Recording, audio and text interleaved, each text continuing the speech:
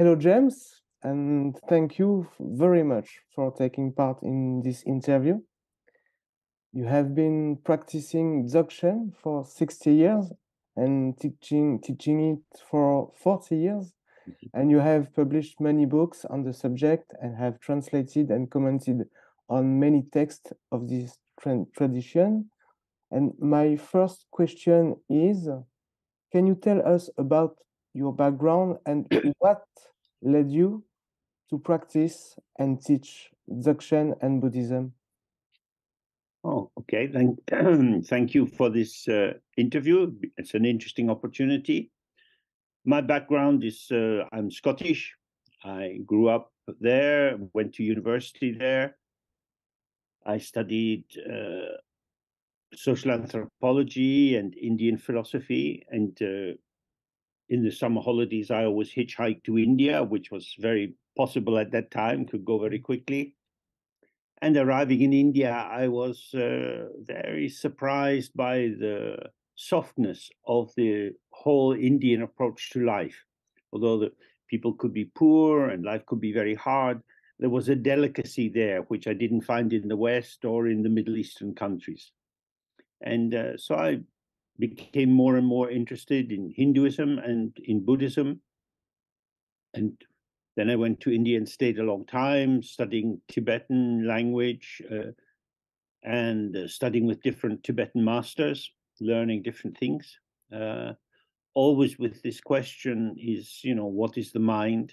What what does it mean to be alive? Where are human beings situated in the world? So the Tibetan view is very different from that of Christianity, that uh, God has made everything and has kind of placed human beings on the top of the pyramid looking down on everything else. There, the, the human realm is embedded in this cycle which is turning with God realms and jealous gods, humans, animals, hungry ghosts, and then the hell realms. And you can move around and around in these realms, but no matter where you are, it's difficult to find the exit. And from the, that Buddhist point of view, to have a human birth gives you the optimal chance of finding the exit from this wheel of life. And the wheel is, is con- continues because of the impetus that we develop in ourselves. So we know what it's like to have a desire to get a good coffee or a nice wine, and then you look at the, the label on the bottle think, oh, I need to get this one again. So already we are projecting into the future and thinking, I want more of this, I want less of that. And uh, this mobilization in a in a linear direction develops a momentum, which, when it's mixed with our ethical turn in terms of aversion and desire, develops what's known as karma. And karma is simply the energetic charge that comes from a strongly dualistic uh, participation in a situation. And we tend to be, in our ego self, we tend to be governed by the thought of, I want to win, me first, uh, I need, I'm entitled. And these kind of blinkered thoughts keep us running and running and trying to get, as if somehow joy was something you could consume. Uh, but as we know from eating ice cream, as you consume it, it vanishes and pleasure is like that as well. As, as soon as you get your hand on it, it's kind of falling through your fingers. So when you're young, you're very energetic and you have all kind of experiences. And gradually, I, I saw that uh, chasing experiences was just very exhausting and didn't lead anywhere. And so I started to look at the mind.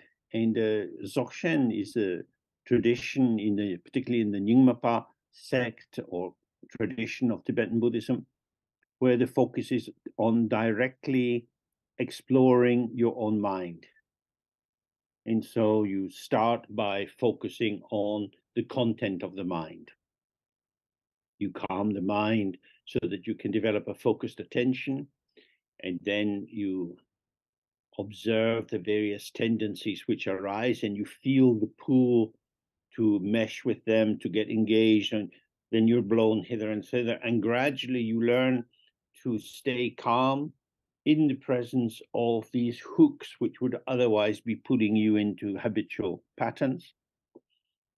And when you are no longer led like a bull with a ring through its nose, you can stay calm in the face of uh, inner habits and patterns that you might feel ashamed of or very desireful for. And you you see, oh, I don't need to catch that thought because the more you observe your thoughts, feelings, sensations, you see they arise and they pass. They arise and they pass. They're actually ungraspable. They're very, very tricky and very deceptive. The thought seems to be something so real, so valid, and yet shh, it's just dissolving like a wave coming out of the ocean and going back into it. And the more we see that, chasing thoughts is like chasing butterflies. So rather than looking out on, onto the, either the outer object or the inner object of experience, we start to look for the looker. Look and see who is the one who is looking. What is awareness itself? And then there are very subtle ways of becoming very open, aware of awareness itself, and then simply pure awareness. And that's the, the main focus of the path. Is um, is it um, possible for everyone to practice to to realize this uh, pure awareness and uh, this to follow this path? Yes, the awareness is the the basis of our existence. What we have is uh, our awareness, which is a bit shaded or cloudy. So, what is actually occurring for us moment by moment is experience. And this experience arises as the interplay of self and other. so, as I'm talking with you, I see your face on the little screen in front of me, but I also feel myself sitting here. I, my hands are moving, my body's moving. I feel the weight of my my bum on the seat. So I am a flow of experience, and you, for me, are a flow of experience, and the room I'm sitting in is a flow of experience. So all of these waves or movements or ripples of experience are arising together. That is to say, awareness is the awareness of the situation within which the movement is occurring.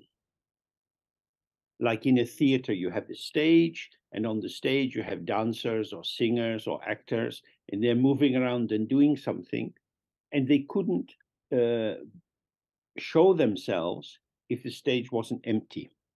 The emptiness of the stage is the optimal creativity of life. But when you have a theater production, they bring in the background, we say props, the painted background, a table, a chair, a chaise longue, and so on. And then the actors are relating to these objects. The nature of the props, of the, the articles on the stage, limits the potential of the display. If you've got tables and chairs, then a ballet is more difficult to stage. Mm. Now, for a theater to function, these props should not be nailed to the ground. Because the most important thing is to be able to change the stage for different performances. But we, in our ego self, we nail ourselves to the ground. We say, I'm me, this is how I am, you know me, come on, you have to accept me as I am and we become very fixed, which gives us a sense of security, but it's very limiting. Hmm. It's very limiting. It's a it's a costly kind of false security, because actually we are performative, participative. We as we relate to other people, our posture, our gesture, our tone of voice changes. We manifest with the other. So the more we see that, it's that however I am arising, this is not the truth of me. this is a display of the energy of the potential of the openness. And that potential, if it's really grounded in the openness, or as they say, the unborn, it's mm-hmm. something which is not fixed, the potential is unimpeded. And so we can play with many different people. If you you visit friends and they have small children, you get down on the carpet and you play all kind of games with them, and then you talk to their grandmother, and your tone of voice is different, your posture, your vocabulary. We are situationally responsive as long as we can give ourselves into the interaction. It's when we hold ourselves in this separated I, me, myself position that we, we become diminished and we also control other people. Because we are saying if you want to be near me, you have to fit in with how I am. And but um, is uh, practice uh, necessary to re realize this uh, emptiness, to realize this uh, um, uh, interaction between the um, uh, the ego and the the stage. Yeah, we we could call it practice. I mean, in fact, it's it's simply observing. It's simply observing without assuming, because most of the ideas we have about ourselves or the people we know are assumptions or ideas or templates that we build up through mind, through time. And so when we meet a friend, we already have an image of that friend operating inside us. And we talk through the lens of the image. And so our direct experience of our friend is muffled by what we know about them. So the, the main point of the practice is to become aware that thinking about is actually a cover up and simply seeing is much more direct and connective because usually we're bringing our knowledge our personality our ideas our preferences into the picture and so you could be talking with someone in a cafe and actually you're talking to your idea of that person. Mm-hmm. And what you're doing is you're confirming to yourself that you know who they are because you've limited the space for them to actually show you, hey, I'm different today. Something's happened in my life. And so the desire of the ego for stasis, for sameness, for predictability operates as a kind of uh, muffler in or veil through which we are not in direct contact. So the main practice is simply to come into the senses and stay with the freshness of what is received without adding uh, bits from the past to it. So we stay with the freshness and not mixing it up. Okay, it seems like a very uh, difficult practice uh, uh, for a beginner, for example? Uh, and um, do you use other practices than the one that you described as maybe visualizations or uh-huh. mantras or mm-hmm. or breath work? I yeah. don't I don't that's, know. That that's possible. That's possible, of course.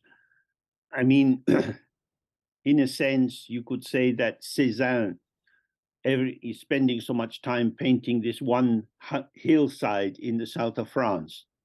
And he's looking again and again, and each time he's looking, he sees something different. Mm-hmm. So his paintings, they're always the same and always different. But before he was able to paint, he had to learn the brushes, the, mm-hmm. the oil paints, how to mix, and so on. So he brought an expertise to it. So the basic expertise that we would need is to be able to be a little bit calm. Mm-hmm. So we can use focusing on the sensation of the breath at the nostrils, bringing our attention onto that moving uh, point and just staying with it. And then whenever we get distracted, we gather our attention and bring it back onto that point and bring it back onto that point until you can develop a stable attention. That's the, the basic tool.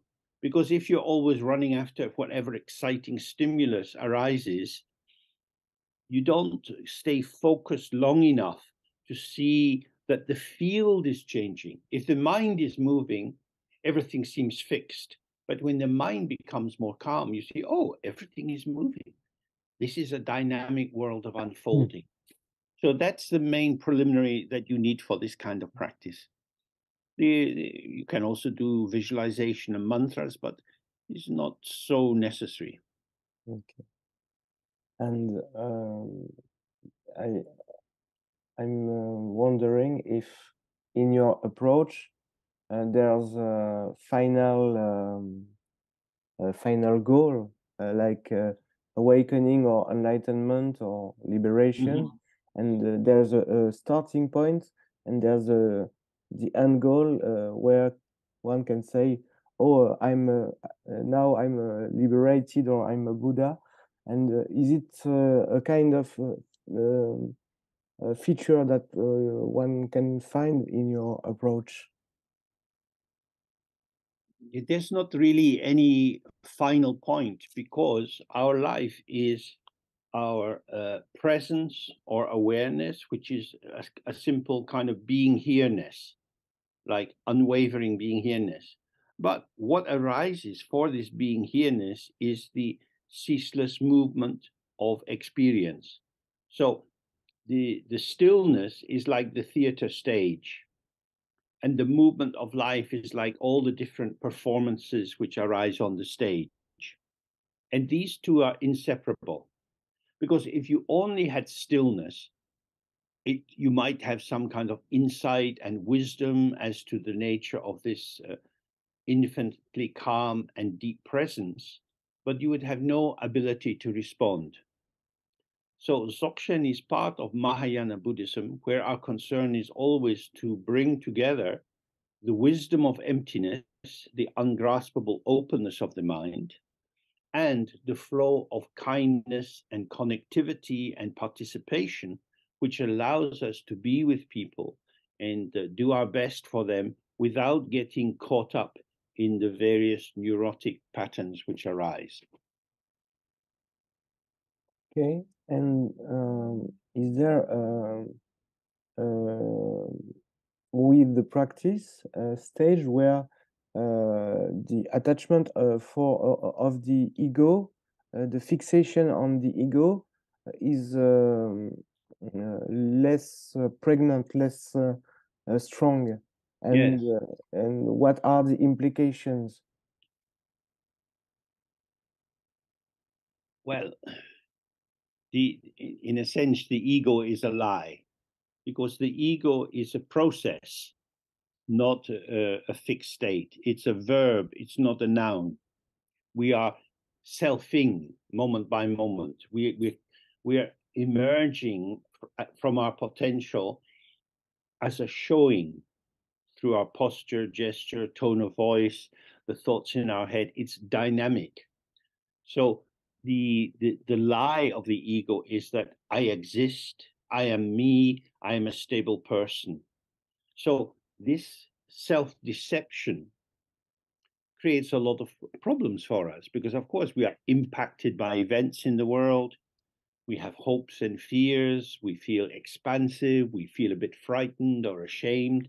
We are labile, we're moving with events, and yet the story we tell about ourselves is this is who I am. So what we do with the practice is when we have a strong formulation of identity, we start to see what is this constituted from? What is the building block of our identity? And it's actually resting on moments of movement. This pattern, that pattern, that pattern, that pattern. There's nothing stable and fixed inside us. So the more we see that, the more we're not putting ourselves in the box of this is who I am. We're actually in the in the tradition they call it the signless. We're we're in a state where the signs and signifiers, the semiotic web that would nail down some pattern or uh, formulation of who we are, this dissolves. And we see, oh, I am a participative unfolding. And this arises in my connectivity, my being a part of the world, not separate from the world, but I am enworlded. When you come out of your mother's body, you come into the world, and your mother's body was already in the world. So it's it's a new beginning for the baby, but it's actually a continuation of the energy of the world displaying itself. So the the more we have a sense of I am is uh, a, is referring to a process and not to an entity. I am not a thing. I am a, a capacity for participation. Then the ego becomes thinned and thinned, and it's no longer our kind of home base or starting point. So, uh, is it um, a way out of uh, suffering? Yes, I would say so. I mean, uh, in the there's a, a famous formulation from the Buddha that there are two mainly two kinds of suffering: getting what you don't want and not getting what you do want. And I think we can recognize that in our life very mm. easily. So the the key thing there is I do want and I don't want. I do want is desire. I don't want is kind of aversion leading to anger. And these two directions, these two vectors, arise from here I am, this is me, this is what I like, this is what I don't like. So I want more of what I like and I want less of what I don't like. And uh, so freedom from this is to be able to find a way to participate in life, however it is. Okay, you, you talk about uh, participation in life, mm-hmm. and uh, I hear a, a, little bit of. Uh, um, uh, I wonder if uh, the place of ethics is uh, essential in your teachings because is it a, a practice that one have has to to do uh, to participate in life or is it a consequence of uh, the practice that one can uh, be ethical i don't know if it's clear but uh yeah yeah i think so i mean ethics you could say the basis of it of ethics is uh, do no harm and if possible do some good and uh, the two main kinds of harm which arise in life is being invaded and being abandoned. So children can be invaded sexually or with violence or with rules and regulations which are unhelpful. But they can be abandoned if somebody never gives them a hug and doesn't listen to them when they want to tell their stories about school and so on. So the middle way which is the heart of the Buddha Dharma, lies between invasion and abandonment.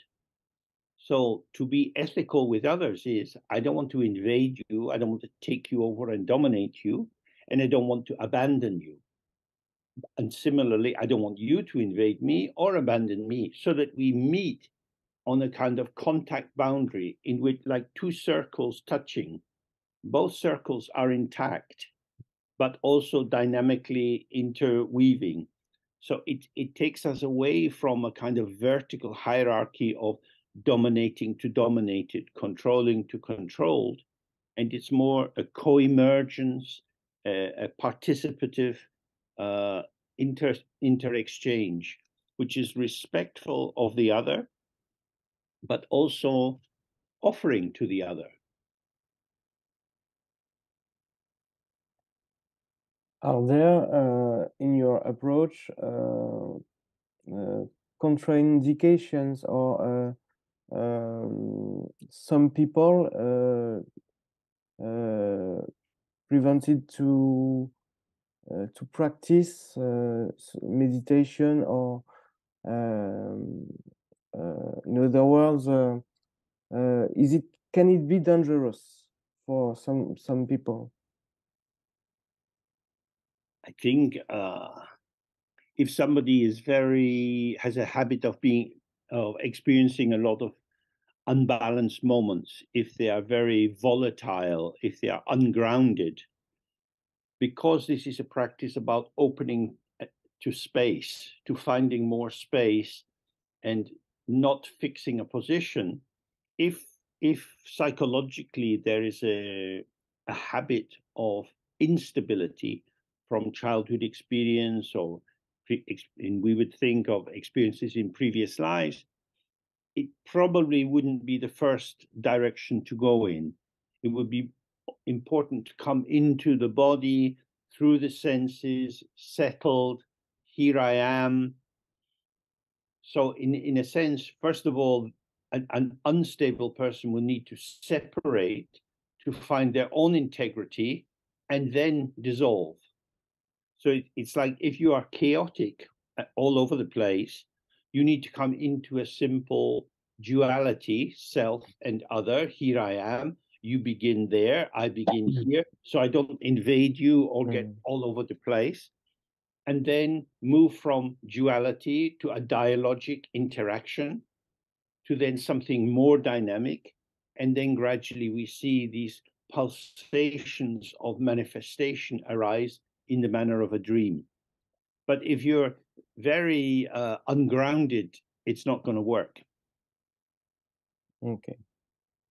And uh, for the beginner uh, who wants to start uh, with uh, Dzogchen and wants to have a practice and uh, wants to uh, go far in, with this practice, mm -hmm. what's the first step uh, for him to to start. If if if you have a connection with some uh, buddhist group in france where people are doing this kind of practice going along and seeing if it uh, fits with you that would be good. There are various places in france where people are doing this kind of practice in the dordogne in particular that i mm-hmm. know of However, if you don't have a situation like that, the first thing is to be curious about yourself. And, and to one thing you could do is take a piece of paper and write down all your assumptions about yourself, which probably means things your parents told you, school teachers told you, lovers told you, and so on. You write all these down, and then you look at them and think, are they true? These are each little prisons or definitions do I fit inside? And the more you see how, oh, this morning I was very happy and then I got upset because someone at work said this and then I said that, and you see mm. these waves, these pulsations of experience, and you're thinking, oh, I am like water. And these definitions people gave of me they're like uh, biscuit cutters, you know, a kind of shape mm. made of metal, like a star or a half moon that you can put on the pastry to make different biscuits for children.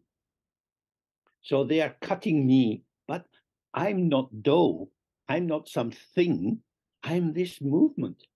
And the more you can see that, then you start to see the intrinsic freedom of our situation.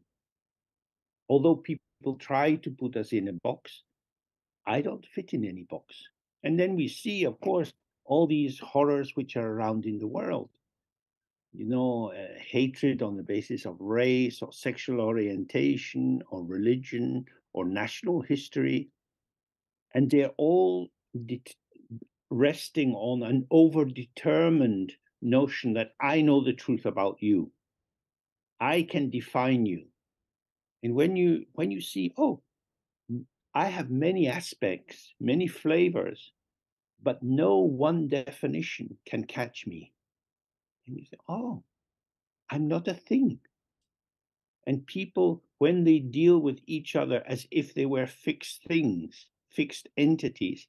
This is the, the basic violence of the human condition, in which the concept about a person is taken for the truth of their vital living existence. And that's a, a, a devious lie, it's a falsity. And uh, this beginner, uh, how can he know um, if he's uh, in front uh, of the right teacher? If he wants to have a special bond with the teacher, and uh, because it's it's his uh, Uh, his karma, or I, I, don't know, but how can he be sure uh, if the the teacher is is the one well, you know, this is a kind of education. And, and the root of the word education, educare, means to lead out the potential of the student. Now, most education is not like that. It's more like being in a sausage factory. And the students come in like a little skin bag, and the teacher's stuffing all kind of stuff into them.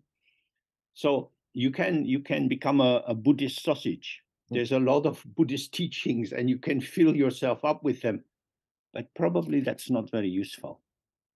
So you want to have a, a teacher who can see you and relate to you and help you to shed your skin, to let go of all this burden that you've been carrying. So from your childhood and past lives, you have tendencies which restrict you and diminish your freedom. So that's like carrying a, a bag on your back, a rucksack full of stones. So the function of the teacher is to help you take the stones out of the bag and not put new ones in. I, I would think if that's happening, it's probably ethical and safe. Okay. Um, I have a, a last uh, question. Um, can you uh, lead uh, us uh, on a little guided meditation, if if it's possible? Okay. Okay, so you just sit in a relaxed way, and if possible, you want your skeleton to be carrying your weight. So the weight of your head is going down your spine. So your muscles are very relaxed. You can shake your arms and, oh, move your shoulders. You're not holding yourself together, you're just hanging on your skeleton. So the, the belly is open and relaxed, and the diaphragm is at ease. Because the central approach in Dzogchen is relaxation and ease. It's not about striving, it's not about the hero's journey, it's not about breaking through, it's about relaxing and opening. So usually for our practice, we do it with the eyes open. We don't want to go inside into a private world. So we sit with our gaze open and relax in the out breath. So you could let out a long out breath. And then you just sit. Nothing has changed. You're not trying to make anything artificial. Sensation of the body continues what you see continues to be there, and you just stay with it. And if you stay relaxed and open, you start to see how your own thoughts and assumptions are constructing the field of your experience. That what you take to be the given of your body and what's present in the room is actually a process of interpretation. Your mind is moving because you're making judgments about how you're breathing, or you look at the wall and you think, oh, I better repaint it. It's getting looking very uh, old and tired, or you remember that you have to do something. You see, oh, the mind is moving. The mind is moving. The mind can only move because of the space of the mind. All my memories, thoughts, plans are moving in the space of the mind. So stay with the space and allow the movement to move. Very, very simple. If you get tied up in thoughts in, or in emotion, relax into the out breath. As you breathe out, release the tension, release the identification. Here I am, present in space as space. And the more you sit with that, the more you see the dynamic movement of everything which seems uh, a fixture of existence. And then you see, oh, this is all potential. And I can manifest in many different ways with many different people in order to bring light and truth and fulfillment to them. And then at the end of the practice, you stay with the sense of space and you get up and make a coffee or you telephone someone and try to have the sense of this is movement moving in space, moving in space. And if you if you like, what you can do is you can just walk directly towards the wall until you bang into the wall, and then you think, oh, oh, it's true. I need space to move. I need space. And then you turn around into the space of the room, and then you are free to move. So when I, although the ego wants to cling on and fix experience, actually our freedom arises from moving in space. And so we integrate that into everything we do in life without consolidating, without making it heavy and fixed. And then our life is more light, more connected, and more at ease. Okay. Thank you. And uh, can you tell us uh, to end this uh, interview uh, if you offer uh, online courses or uh, or events online or not online? Yes, well, we have many Zoom teachings. they are in at the moment they are in English, but we have translation at the same time into Spanish, Portuguese, German, and Polish. So if somebody is, wants to translate into French, that would also be possible. But we have many resources available. Okay. So I will put uh, the links uh, on the, the, video descriptions. Okay. And, uh, thank you again for your time and teachings. And um, maybe uh, we can meet uh, another time for another discussion. Okay. Pleasure. Thank, bye for now. Thank you very much. Bye bye. Bye.